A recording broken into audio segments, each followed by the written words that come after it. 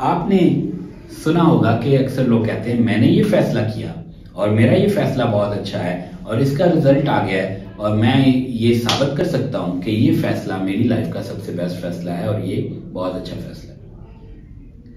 मैं एक और पर्सपेक्टिव आपसे शेयर करता हूँ। लेट सपोज़ आपने जॉब छोड़ के बिज़नेस करने का फैसला किया और दो साल में आपके पास गाड़ी आ गई, घर ले लिया, आपका बिज़नेस ग्रो कर लिया।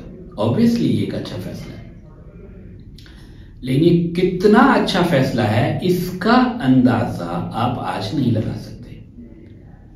पचास साल बाद, जब उस बिज़नेस की बुनियाद पे आपकी नेक्स्ट जनरेशन की लाइफ और क्वालिटी ऑफ़ लाइफ बेहतर हो जाएगी तो कुछ आप उस फैसले का इम्पैक्ट मेजर कर पाएँगे। सौ साल बाद।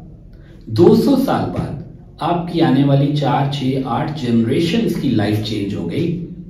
उस एक फैसले की वजह से जो आपने लिया जॉब छोड़ के बिज़नेस किया और उसमें मेहनत की तो शायद उस फैसले का इम्पैक्ट ज़्यादा अच्छे तरीके से आप और हम मैयर कर सके।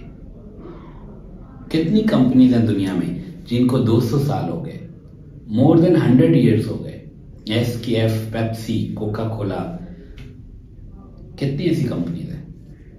एफ़ और बहुत सारी कंपनी सो आप और हम भी फैसले करते हुए लॉन्ग टर्म सोच को लेके चले। एक बात बताएँ।